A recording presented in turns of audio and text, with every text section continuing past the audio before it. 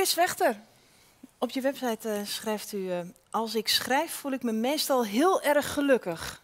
Met 25 boeken op uw naam moet u een heel gelukkig mens zijn. Ja, 25 klinkt veel, maar voor de kinderboekenschrijver is het eigenlijk heel weinig. Er zijn eh, kinderboekenschrijvers die er meer dan 100 hebben. Maar het gaat niet om het aantal, denk ik, maar wel om het gevoel wat je krijgt. En Ja, ik moet eerlijk bekennen dat als ik bezig ben met een boek en een boek schrijf, dan ja, beter kan ik me niet voelen. Dat wil niet zeggen dat er geen momenten zijn dat ik helemaal klem zit. Hm. En dat ik eh, door de tuin moet lopen en dat ik eh, het jammer vind dat ik niet meer rook en dat ik de pijp ooit weggegooid heb. En, ja, maar goed, eh, Niet stiekem ergens een pakje nee, sigaretten nee, verstopt hebt. Nee. Maar ja, het, is gewoon heel mooi om te doen. En eh, vooral als je dingen kunt eh, toepassen en in je verhaal kunt eh, schuiven die je ooit meegemaakt hebt of gezien hebt of gehoord hebt. Dat vind ik echt geweldig. Ja. Ja. Waar schrijft u het liefst? Nou, het allerliefst in mijn kamer. Ik heb een, eh, een eh, mooie kamer. Ik woon in de binnenstad van Assen op een mooie plek. En eh, achter ons huis hebben we een speciale kamer. Dus het was eigenlijk een slaapkamer, maar het is mijn kamer. En, eh, daar schrijf ik, ja. Ja, Ja. dat is de fijnste ja plek. dat is de mooiste plek. En op wat voor momenten dan? Nou, ik moet eerlijk bekennen, de afgelopen jaren is het toch wel wat minder. Want eh, ja, je gaf al aan, ik ben ook directeur van de school. En eh, dat vergt tegenwoordig behoorlijk veel tijd. Als je directeur van de school bent en je wilt het goed doen, en dat wil ik, ik ben heel ambitieus toch Mhm. nog. Eh, ik ben net op een nieuwe school begonnen, ongeveer een jaar geleden. De veldkei? Nou, de veldkei. En daar, ja, daar willen we veel voor elkaar zien te krijgen met elkaar. Dus dat kost tijd. Dus het schrijven staat, mm, eerlijk gezegd, op dit moment op een wat lager pitje. Jammer? Ja, ik vind het heel jammer. Ja. Maar ja, je moet keuzes maken. Ja. En, eh, maar ik doe nog wel veel. Ik eh, ga nog regelmatig naar bibliotheken om lezingen te geven of naar scholen. Ik heb eh, binnenkort iets waar ik me ontzettend op kan verheugen. Misschien dat je het kunt voorstellen. Maar ik mag naar het dorp waar ik geboren ben. Daar hebben ze een bibliotheek, hebben ze twee scholen. Een christelijke school en een openbare school. En dan mag ik aan die kinderen van groep 7 en 8 iets vertellen over mijn boeken. Nou, mooier kun je het niet hebben, vind ik. Dat Ja. je naar je eigen dorp mag, dat je daar wordt uitgenodigd. Ja, dan, dan ben ik heel blij. Ja, Ja. precies. Eh, waar je ook blij van kunt worden, lijkt mij, is eh, dit boek, De Dierenbeul, van, eh, Ja. van u heeft u geschreven. Ehm, dit kan ik niet lezen. En ik denk u thuis ook allemaal niet. Dit is Hindi. Het is Hindi, Hmm. ja. Hij is vertaald. Hij is vertaald door iemand die uit eh, India komt, waar ik eh, toevallig contact mee had. En ja, sinds, eh, ik geloof nu anderhalve week, bestaat dit boek in het Hindi. Wat voor gevoel geeft dat? Nou, een beetje dubbel. Ik vind Oh. het geweldig. Ik vind het geweldig, maar ik kan het niet lezen.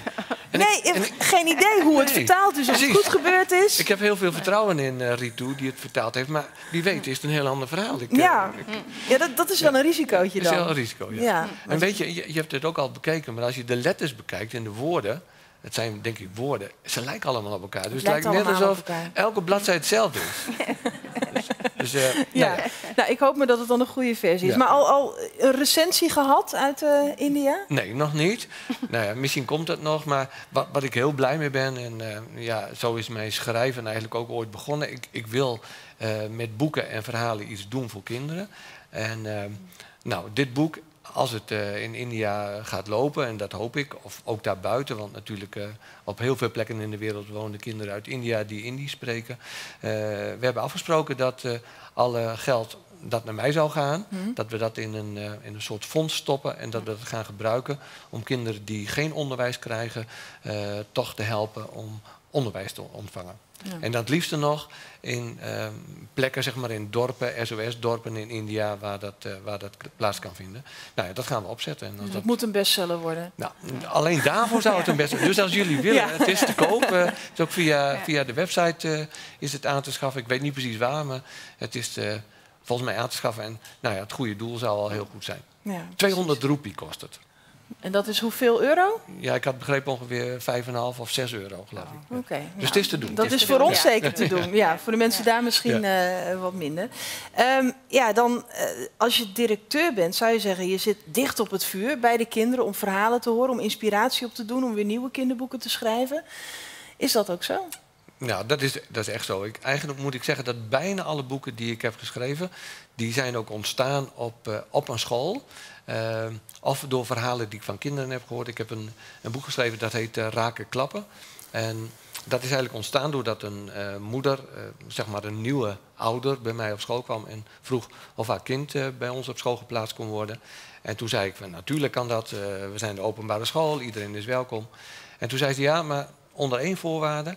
Uh, wanneer er gevraagd wordt of mijn dochter op jouw school zit, mag je nooit zeggen dat ze staat ingeschreven. Wij zijn namelijk gevlucht voor uh, een gewelddadige echtgenoot. Nou, ik heb daar een, een, boek over geschreven. Niet helemaal echt. Ik heb mijn eigen fantasie natuurlijk gebruikt. Maar die, dat boek is dus echt ontstaan uh, op een school. Want het ontstaan ja. van het schrijven zelf is ook ontstaan op school als docent. Ja. Ja, dat, dat is een heel uh, krankzinnig verhaal. Ik heb het een beetje geromantiseerd, moet ik wel zeggen hoor. Ik vertel het ook aan kinderen. We maar, houden van romantiek. Ja, ja. Het, het, komt er eigenlijk op neer. Ik, uh, ik werkte op een school, dat is al jaren geleden. Ik zit al 43 jaar bijna in het onderwijs. Uh, nou, ik, ik, was een aantal jaren werkte ik op een school en ik had een klas. Uh, dat was toen groep 3, klas 3. Tegenwoordig heet dat groep 5. En het waren hele leuke kinderen, maar ze, één nadeel hadden ze. Ze hielden niet van lezen. Hm. En toen dacht ik, hoe krijg ik ze nou aan het lezen? Nou, toen dacht ik, ik kan goed voorlezen, dus ik ga voorlezen. En dat deden we op die school altijd in de kring. En waarom ik het gedaan heb, heb ik nooit begrepen. Maar ik ben impulsief nogal. Ik doe dingen zonder na te denken, ja. ook hele domme dingen. En uh, dat, dat was die dag ook zo. Ik was aan het lezen en ik zag die kinderen allemaal zo naar mij kijken. Ze vonden het heel spannend. En ik moest de bladzijde omslaan om de volgende bladzijde te lezen.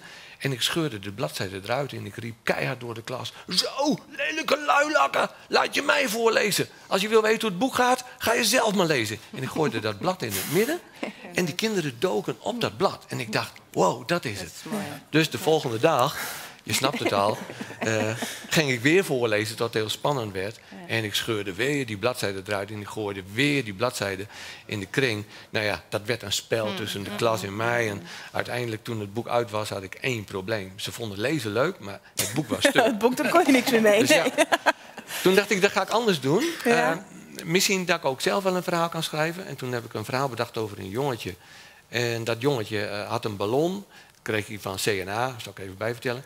En daar ik, deed ik vroeger namelijk zelf ook. Ik kauwde op een ballon. Ik, ik blies er niet op, maar ik stopte hem in mijn mond en ging zo kauwen. En dat jongetje deed het ook. En slikte de, de ballon in, kwam in zijn buik.